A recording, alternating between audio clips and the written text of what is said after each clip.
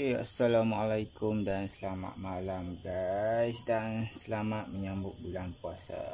Okay So Sekarang ni sebenarnya tengah malam.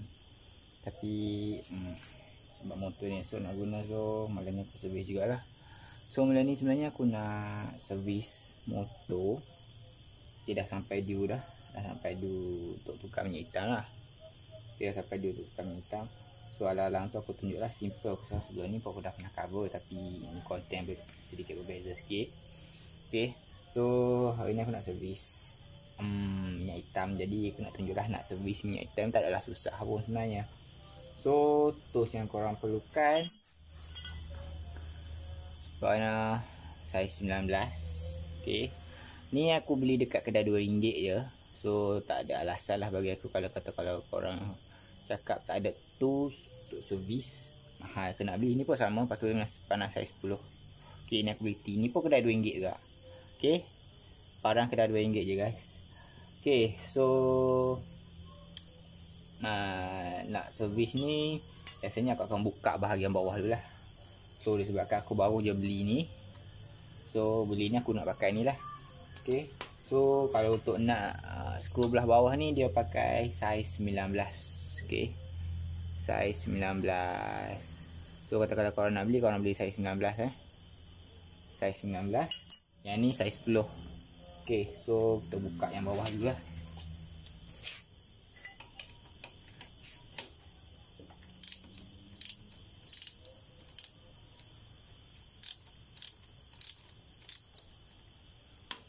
Okay, dah buka sikit. Biasa aku akan buka pakai tangan lah. Jangan lupa ya kena ada drainer Nanti minyak habis semua ke lantai.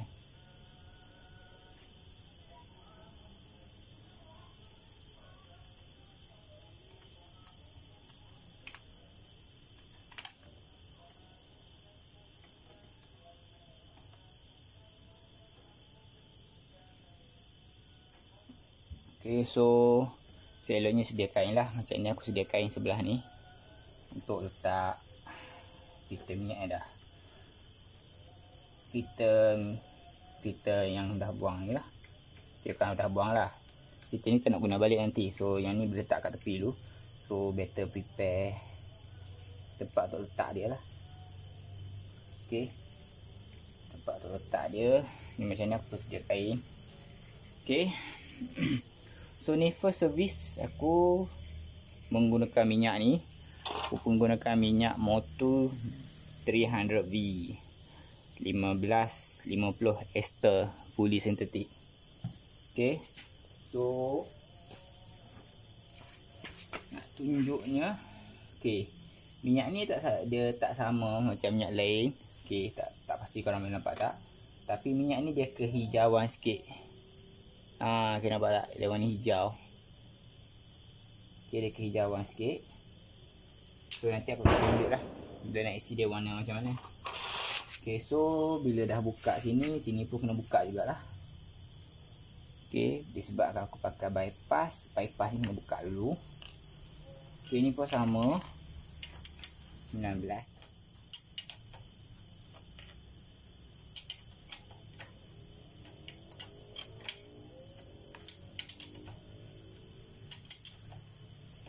Susah sikit lah kalau pakai bypass.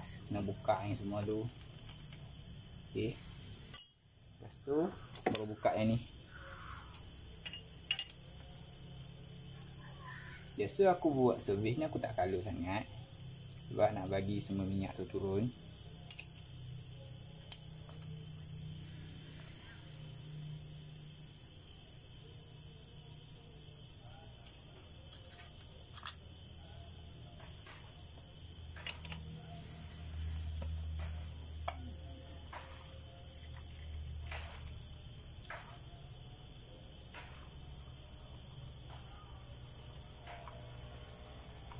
buka semua skru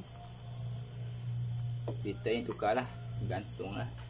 Sebab sekarang ni pun filter yang kita pakai untuk kat sini kita boleh pakai filter Suzuki VS 125 ok so aku pun dah beli banyak stok lah untuk filter ni. Aku pakai filter kertas je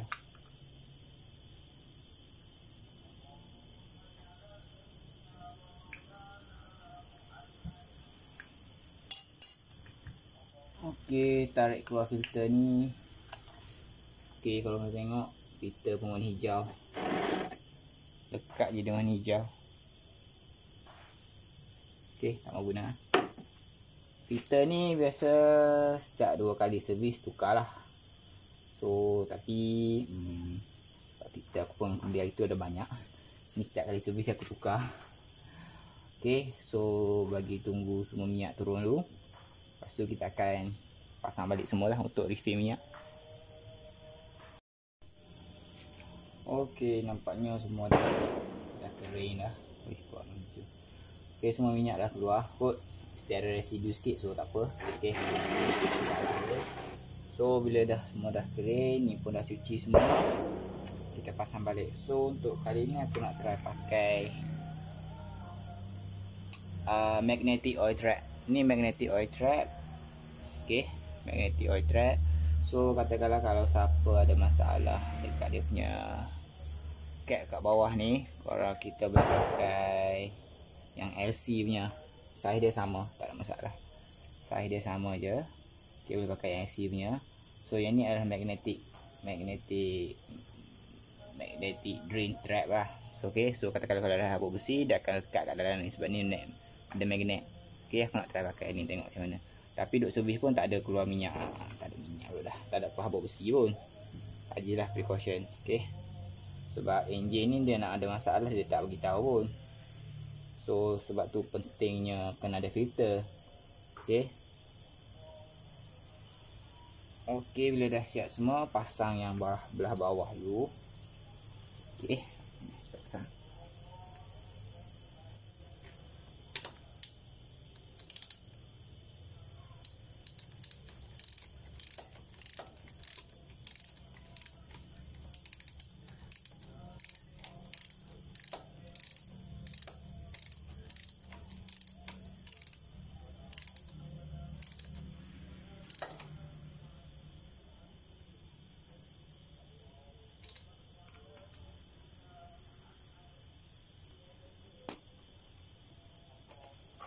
Okey, siap bahagian tu. So sekarang ni filter kat sini pula. So untuk filter ni kita boleh pakai yang VS. Okey, VS 125. Biasa punya aku pakai ni yang Apido punya. Beli buat stok. Okey, boleh pakai yang VS punya. Okey, clear tak?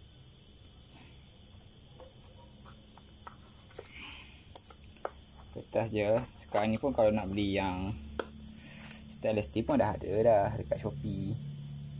So sekarang ni zaman mudah beli online je tak payah pening-pening kepala nak beli nak pergi cari kat kedai. Ok so nak masukkan tu yang ni belah dalam ya. Yang lubang ni belah dalam jangan terbalik pula. Banyak kes yang pasang terbalik tak pasal-pasal engine kena overhaul. Ok siap kita pasang balik ni semua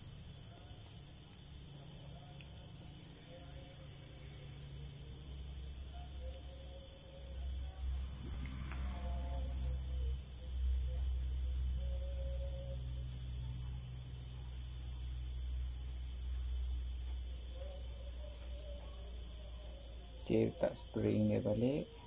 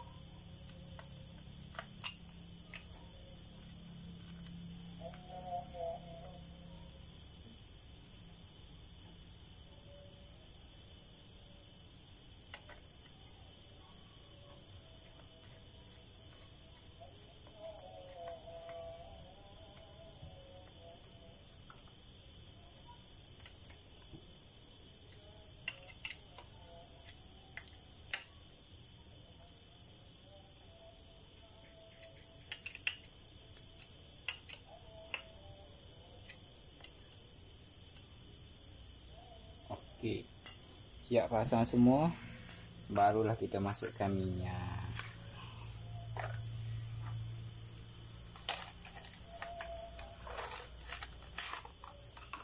Okey so ni minyak yang aku guna.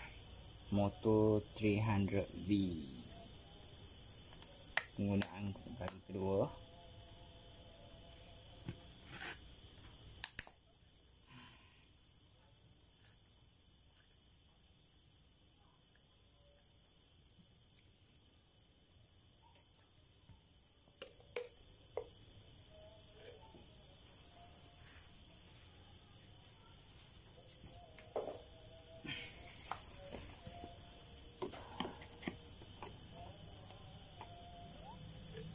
Okey, kalau korang tengok hmm, minyak ni sebelum guna goncang lah dulu eh. Tadi aku dah goncang dah. Okey.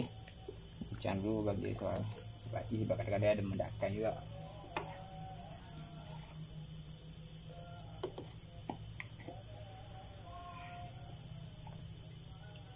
Okey, ni minyak dia kalau korang tengok minyak dia warna fluorescent. Macam ni hijau juga lah.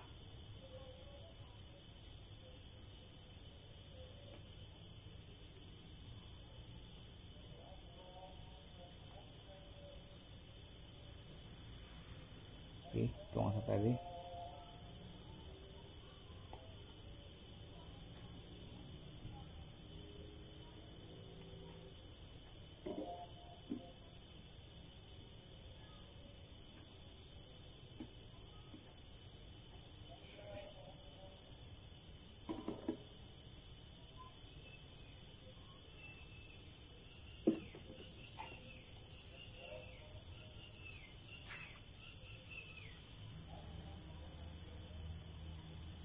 Okey, dia dah siap. Tutup je. Balik. Kalau pakai bypass, letak balik skru bypass sini lah.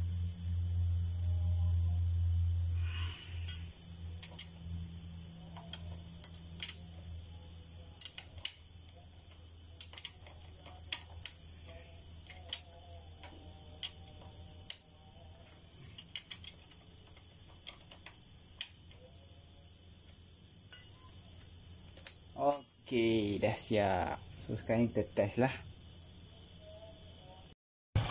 Okey, bila dah siap, kebiasaannya akan tengok minyak kat sini, tengok. Okey, kalau kau tengok minyak dia color uh, kuning sikit eh. Okey. Minyak tu dah jalan. Pastikan minyak tu jalan. Bawah ni tak ada isi. Okey ada liki Jom, dah siap Macam tu saja untuk segi Okey, minyak jalan elok. Tak liki eh? Tak ada liki Alright. Okey guys, macam tu saja cara nak servis. Simple saja. So, janganlah segar-segar untuk mencuba okey? So, berjumpa di lain kali. Assalamualaikum